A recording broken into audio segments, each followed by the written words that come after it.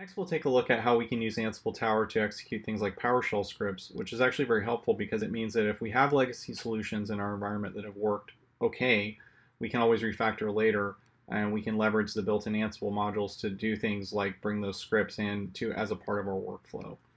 So in the first place, we'll take a look at the system and the temp folder and because that's where most of the work will be happening. Next, we'll take a look at the job template. So the same things uh, apply over and over again for us around inventories, credentials, and playbooks themselves. We'll take a glance at the playbook and understand that it is calling the Win shell module.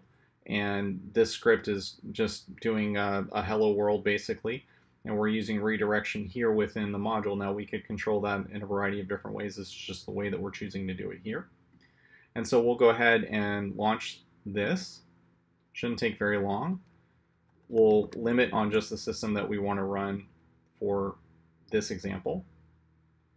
And we should find that this is going to happen very quickly because all it's really doing is it's copying a file over and it's running the PowerShell script using that WinShell module. And so it looks like it's already done its work around the copy and next it's doing the, the running of the script itself.